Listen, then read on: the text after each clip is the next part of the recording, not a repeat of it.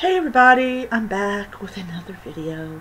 This is actually the final video for tonight because I don't have enough energy to do another video. So this is Jim Butcher's uh, Proven Guilty. This is the eighth book in the Dresden Files series. So I'm doing a review of this book. Um, so I actually bought this also as a Kindle edition because um, I wanted to read it while I was at work and all this stuff. And um, I don't have all the Kindle editions of this series. I'm actually going to go back like once a month. I'll get like a back issue of the Dresden Files um, and all that. So, anyways, um, so this is the eighth book, and this centers around uh, things happening at a convention known as SplatterCon. And what happens is Harry ends up in the middle of it, has all these, you know, monsters and stuff coming out, and it's directly linked to Molly.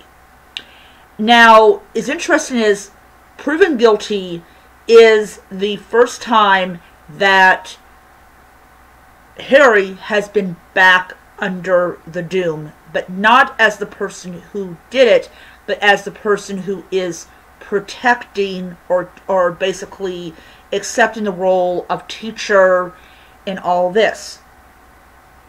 Overall, proven guilty is one of my most or my my more favorite uh, issue or favorite uh, volumes in the series.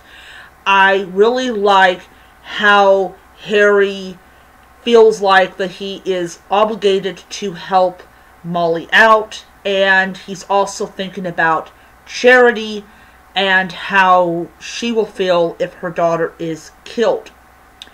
Um, so what Molly did was she broke one of the laws of magic about enthralling. And basically what it was was that she was so worried about her friends that she was willing to break one of the laws of magic to get them to essentially stop doing what they were doing that's not a good idea. They, they, they have to be willing to change on their own and not due to outside um, interference. Overall, great book. I, I loved this book a lot. I thought this book was really well done and really entertaining. I just I just loved it. All right, so the next book in the series is White Knight. Um, I am going to start on that book. I'm going to buy also the Kindle edition of the book as well because um, I just I just want to get all the Kindle editions of all the books. So I will see you guys around. Bye.